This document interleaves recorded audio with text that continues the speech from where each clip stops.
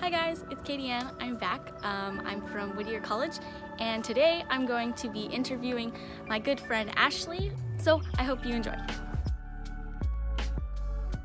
I guess it has to do maybe with like, I guess unity, community, um, anything that just unites a class because remember we are such a small school so basically we all have each other's back like if someone were to go through something then you have a lot of people defending your back or you know even like you know you know learning how to be an ally for you or how to be a better person for you. And so you learn how to you know treat people with respect with better humanity how to be a better person especially here in campus there's a lot of training a lot of like classes and workshops and a lot of talk a lot of meetings discussing how do we face that how you know a place where we could you know express our feelings and you know how to be there for one another and how to treat everyone respect. And that's the thing I like about Whittier is that, you know, there's a sense of unity, community, and just having each other's back.